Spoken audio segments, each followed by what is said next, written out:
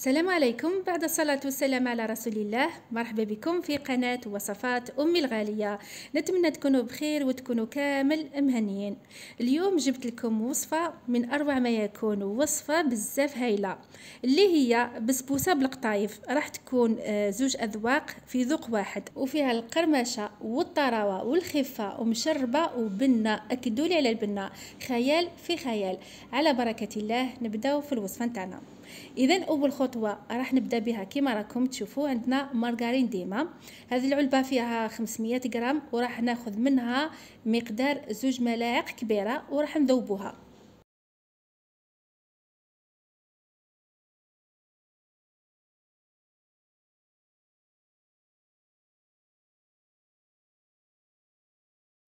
وهنا كما راكم تشوفوا بعد ما ذوبت المارغرين يعني نحتاجو كاس غير ربع تاع لا مارغرين ذايبه ونكملوا لها بربع كاس تاع الزيت.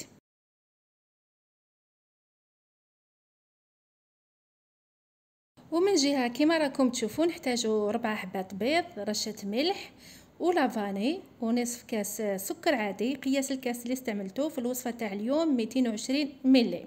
راح نخلط المكونات بالخلاط اليدوي ولا تقدروا تستعملوا الخلاط الكهربائي الوصفة تاعنا سهلة وما فيها حتى مجهود. هنا كما راكم تشوفوا راح نزيدوا لا مع الزيت يعني المزيج تاع لا مارغرين والزيت. ونزيدوا كاس تاع الحليب دافي. ونكمل نخلط المكونات مع بعضهم بهذه الطريقة.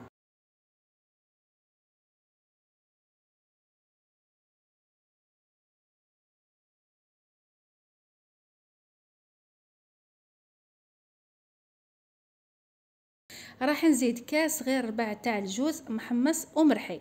تقدروا تعوضوه باللوز ولا جوز الهند. نزيدو الكاس الأول سميد متوسط اللي كنت غربلته والكاس الثاني راح نزيدو بالتدريج يعني راح نزيدو بالدفعات ونزيدو كيس ونصف كيس خميرة الحلويات ما يعادل 15 غرام.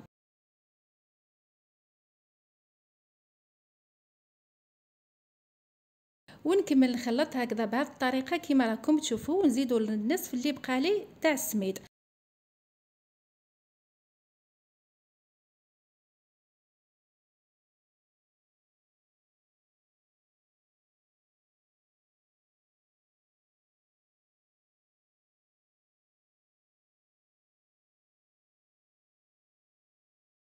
هنا راح نخلطو مليح مليح هكذا حتى نتخلصوا كامل من التكتلات. وهذا هو القوام اللي راح تتحصلوا عليه. نجيبوا الصينية تاعنا اللي راح نطيبوا فيها المقاس تاعها 30 على 23 ندهنوها بالمارغرين يعني ما نرشوش فيها الفرينة ونوزعوا الخليط نتاعنا. والبسبوسة نتاعنا راح نطيبوها في فرن مسخن مسبقا في 180 درجة. الصينيه نحطها في الوسط الفرن نشعلو من الأسفل وبعد ما تطيب لي تتحمر لي من التحت على الجوانب.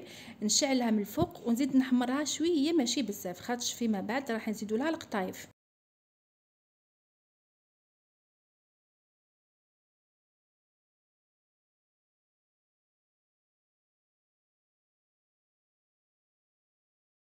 ومن جهة كما راكم تشوفوا في مقلة آه نذوبوا زوج ملاعق كبيرة مارغرين ونزيدوا آه القطايف شوفوا البنات هذه النوعية اللي خدمت بها. وكما راكم تشوفوا لهنايا درت النصف يعني ما راحش نديرها كامل. نزيدوا زوج ملاعق كبيرة سكر ناعم ونحطوها فوق النار مع التحريك المستمر حتى نحمصوها وتولي لنا بلون ذهبي. هكذا كما راكم تشوفوا. لازم تولي لنا بهذا اللون. وبعد ما طابت لي البسبوسة نحيتها من الفرن وهي سخونة. راح نعسلها بعسل بارد خففته بمزهر لازم تخفوه بمزهر. واللي ما تحبش تعسلها بالعسل راح تشربها بالشربات راح في كسرونه راح ديروا ربعة كيسان تاع الماء زوج كيسان سكر عادي وشريحة ليمون وتحطوها فوق النار تخلوها حتى تغلي. وعندما تغلي راح تحسبوا لها مدة 15 دقيقة وتطفوا عليها النار. كما قلت لكم بسبوسة لازم تكون سخونة والعسل بارد. هنا راح نخليها حتى تتشرب وراح نديروا لها كمية مليحة. أنا درت لها تقريبا 500 آه، غرام. شوفوا هنا بعد آه، البسبوسة تاعنا بعد ما تشربت العسل راح نواسي شوية نمسحوها هكذا باش نوسعوا عليها القطايف ويلصقوا لنا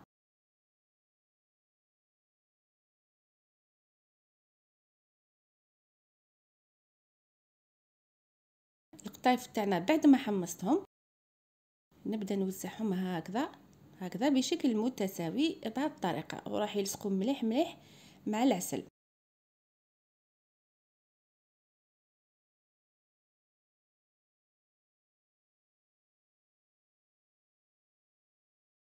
كما راكم تشوفوا ما درتش كامل الكمية. وأنا بعد ما كملت شوفوا راح ندير آه، تقريبا زوج ملاعق كبيرة تاع العسل ما تكثروش. هكذا باش القطايف يلصقوا لنا مليح مع البسبوسة. وبعد ما نكمل راح نخليها حتى تتشرب ونكملوا باقي التفاصيل فيما بعد إن شاء الله.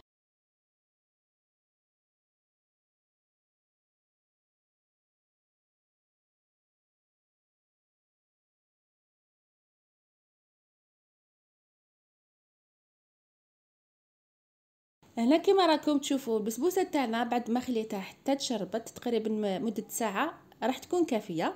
نبدأ نقسمها إلى مربعات بالتساوي بهذه الطريقة.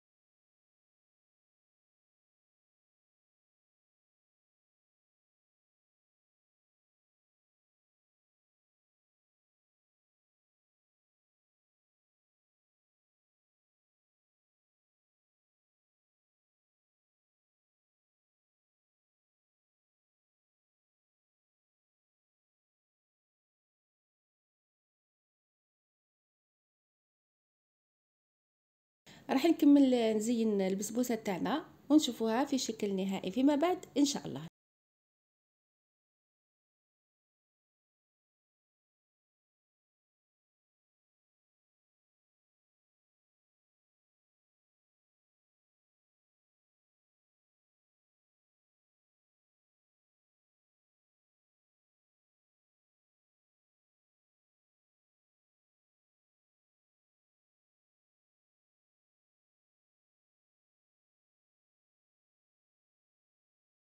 إذا البسبوسة تاعنا بعد ما خليتها ساعة كاملة تشربت العسل آه، شوفوا هنا راح نقسمها معكم ونقربها لكم باش تشوفوا النتيجة اللي تحصلنا لها وكما عودتكم آه، كما عودتكم دائما بالمصداقية تاع الوصفة. شوفوا البنات جات روعة. شوفوا كيفاش جات آه، مشربة. وشوفوا طبقة البسبوسة طبقة القطايف. صدقوني يا البنات حاجة جديدة وبنينة بنينة بنينة بزاف. وكما شفتوا حضرتها معكم بمقادير بسيطة طريقة التحضير سهلة ووصفة ناجحة مئة بالمئة. يعني راح تنجح معاكم من أول تجربة. اذا كانت هذه وصفتنا لنهار اليوم. نتمنى إن شاء الله تنال إعجابكم وأكيد إذا جربتوها نقول لكم بالصحة ولنا. وفي الأخير ما بقى لي غير نقول لكم واذكروا الله وصلوا على النبي عليه الصلاة والسلام. انتهوا في روحتكم في أمان الله.